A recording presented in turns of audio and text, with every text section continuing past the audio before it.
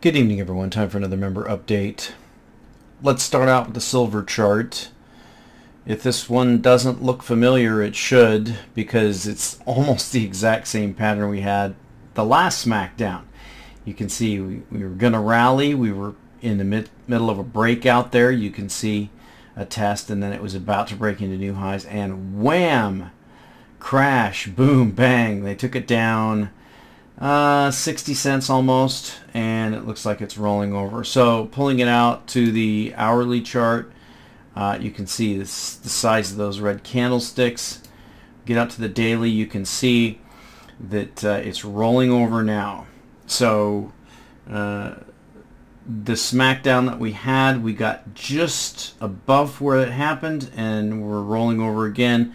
The general downtrend you can see it here still um, lower highs and lower lows. So we're going to be looking for a lower low. Uh, as I said before, the best time to buy silver is when it's crashing.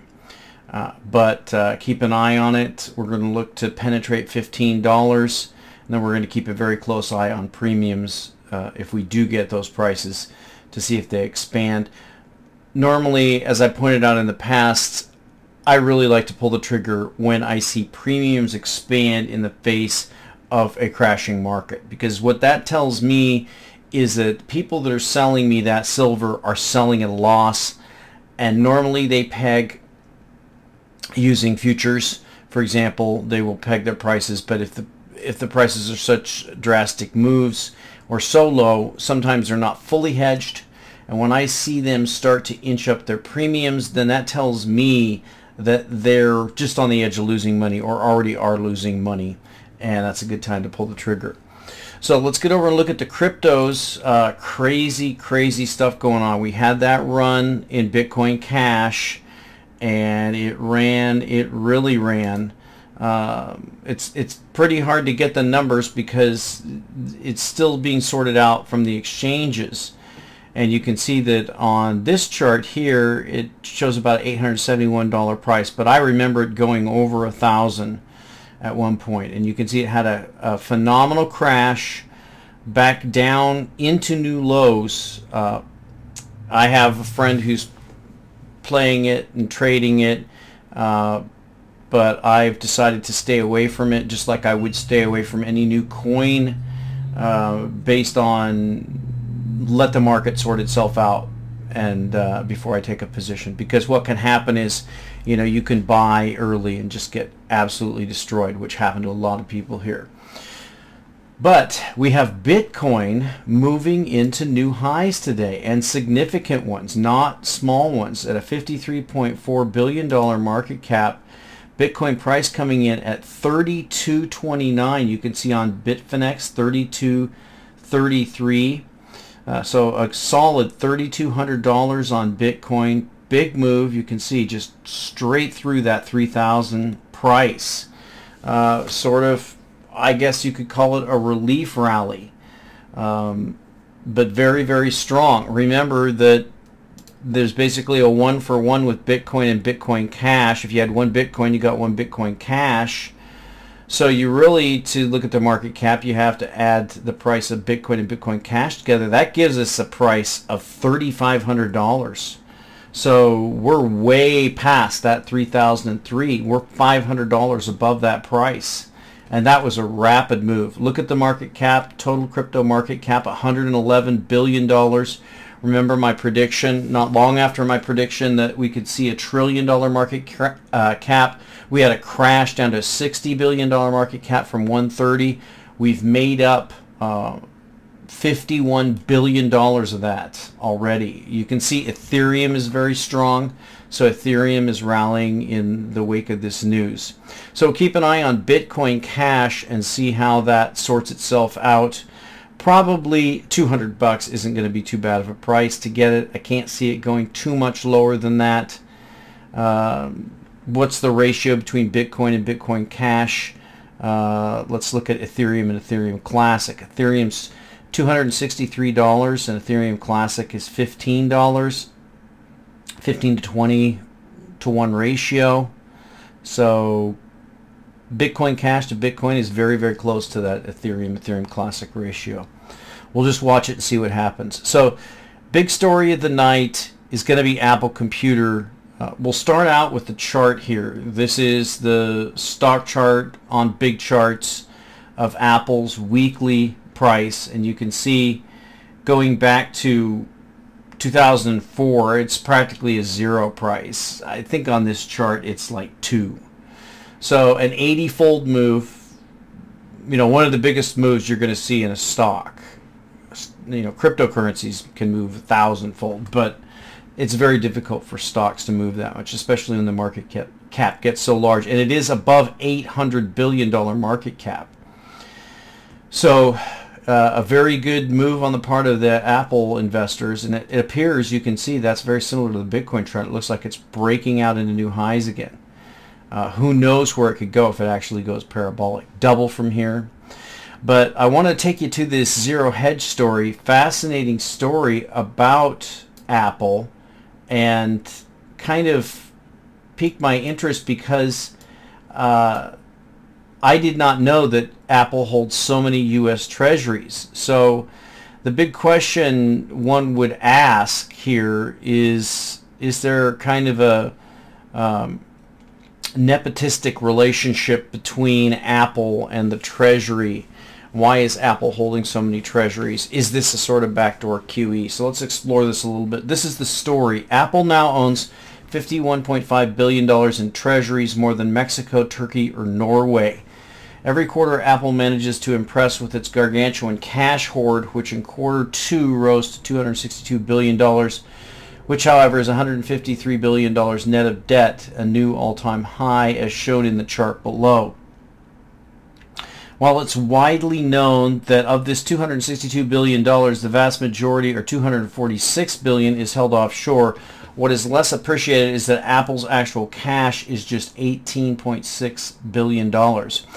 The rest is held in various securities, both short and long term, something we first reported back in September when we introduced readers to Braeburn Capital, the firm that actually manages Apple's quarter trillion in asset holdings. In the five years that have passed since then, Apple's AUM has grown substantially. As the company reported in its latest 10Q, as of June 30th, Apple now owns enough assets to not only put even the world's largest hedge fund, Bridgewater, with less than $200 billion in assets to shame, but some of the world's largest holders of treasuries. Of its total $243 billion in short and long-term securities, Apple owned a whopping $51.5 billion in treasuries, split between $20.1 billion in T-bills and $31.3 billion in treasury bonds. While Apple's TSY holdings have fluctuated over the years, with a notable decline around September 2014, they have since grown to an all-time high of 51.5 billion, up from 50.9 billion last quarter and 40.5 billion last year's fiscal year end. Putting this number in context, if Apple were a sovereign nation, it would be the 24th largest holder of U.S. treasuries in the world, more than Turkey with 49.5 billion, Norway with 48.3 billion, and Sweden with 40.8 billion, Mexico with 38.9 billion. Still, nothing compares to Apple's major asset class, total corporate securities, which in quarter two hit a new all-time high, just above 150 billion dollars, up from 54.6 billion five years ago. As for the rest of Apple's holdings, here's the full breakdown. It breaks down from corporates to uh, treasuries, mortgage back, etc. For a grand total of 261.5 billion, including 18.6 billion in cash. If the whole iPhone thing ever fails, Apple can just give active asset management a try. That said, we wonder how much Apple pays in broker fees each year and how much it gets back in the form of favorable sell-side research. Now, that's kind of interesting, but what's even more interesting I wanted to explore was this comment by one of the posters here, starting with the first comment made by CPL, uh, and this is comment. They have a high credit rating and it's cheaper to borrow money than make it with 0% interest. Sort of like printing your own money just like the banks do. They use the treasuries as collateral to borrow a lot of money to buy back their stock to buy more treasuries with more loans, etc. Apple is called a credit front and it stopped being a technology company when its principal owner and CEO died in 2011 of a very terminal bout of cancer. They were also always first to put forward commercial laws for literally thousands of different agendas, SOPA, PIPA, ACTA, Patriot Act 1 and 2. As a company, it's not a benign or friendly as it's presented. They're sort of a quasi-scumbags. Personally, I think they're a front for someone else since no one actually buys their substandard crap. Whoever they are, they sell Apple the treasuries and sign the loans on the collateral. Only one group does that, the Federal Reserve Bank. Uh, so that's kind of interesting. And he follows it up with this comment. They are less than 2% of a market space. They are outsold in nearly every category, and their products are 800 to 1200% more expensive than their competitors. The links to that company and where you want to follow the money. The names of the guilty are as follows, and he gives a bunch of names very high level connections to other organizations known to be complicit in the scam and murder charges that are now being brought to trial. The bailiff will remove the names on the list for processing soon enough. So a little bit of tongue in cheek there, but what about this point? Is Apple some kind of sophisticated money laundry uh, that we know that if you've ever followed, uh, well, if you watch the series that's now on Netflix called Ozark, which is about um, uh, laundering money, Mexican drug cartel money, and a guy who gets caught in that business. But uh, sorry, I lost my train of thought. Um, but in regards to laundering money, um, the question is is is Apple doing a legitimate business? Uh, I remember what I was going to say. Um, if, if you remember the gal who came from Treasury, uh, I can't remember her name right now. It's on the tip of my tongue, but her, the name of her uh, organization was Solaris. And she was always talking about how much drug money is laundered. And the story she gave was that uh, she was going around the country speaking to people about legalizing drugs and what the impact would be. And her statement was that it would be a complete crash of the Treasury stocks, etc. It would destroy the market. And she said that um, that the majority of teachers and, and the people, when they saw what would actually happen, that uh, they voted to keep drugs illegal uh, and keep the money laundering going on. So I've talked a lot about money laundering and where the money goes, uh, uh, obviously it doesn't go through Bitcoin. It, it may be getting closer to be able to go through Bitcoin. Uh, and we know that BTCE was charged with money laundering, but that wasn't money laundering uh, unless they were selling for currency. Um, I don't know whether they were or not. I know they did have dollars on there at one point, uh, so you, I guess you could sell for dollars, but they weren't. It wasn't the money that was being laundered. Supposedly, it was the Bitcoin being laundered. That's a very gray area. For example, on Poloniex, there are no dollars, so I'm not really sure how you could launder money. Um, but if they say launder Bitcoin, then I guess they consider Bitcoin to be money. And uh, then they've kind of admitted it there. But the question is with Apple, is there some kind of laundering going on? Is it a kind of a front company?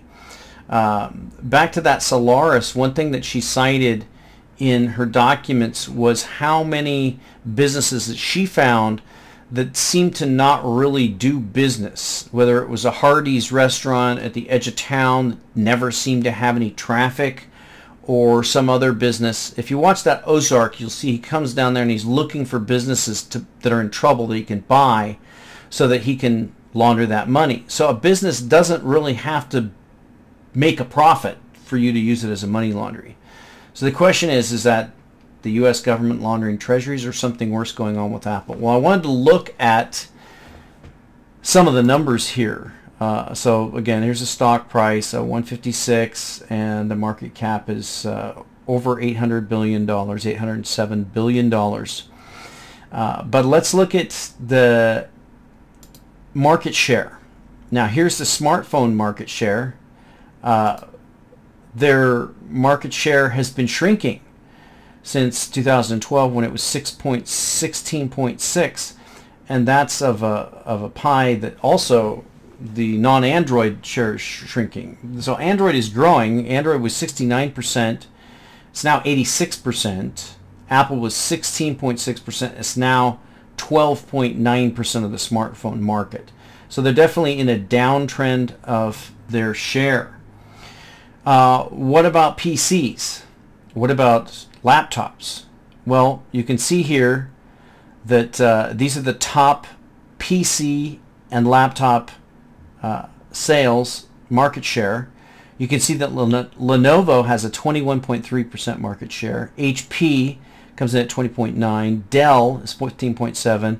Asus, which is what I have, I really like Asus, 7.4, and Apple is down here with 7.1%. 7.1%. Now, what else does Apple do?